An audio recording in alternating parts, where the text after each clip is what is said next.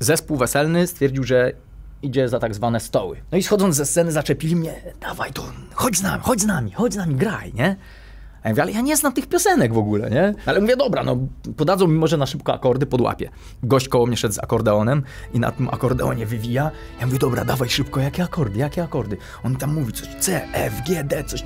Ja łapię, on mówi, nie, czekaj, coś pokręciłem, nie, nie ta tonacja, już zacząłem grać coś innego, nie? Stary, gdzieś on ma tam na Jak to się nie ale, pomylić? ale ludzie nic, nie orientują się, więc ja w końcu tutaj gram, a tu tu mnie struny, nie? I ludzie wszyscy, e, zajebiście, wiesz, spoko, nie?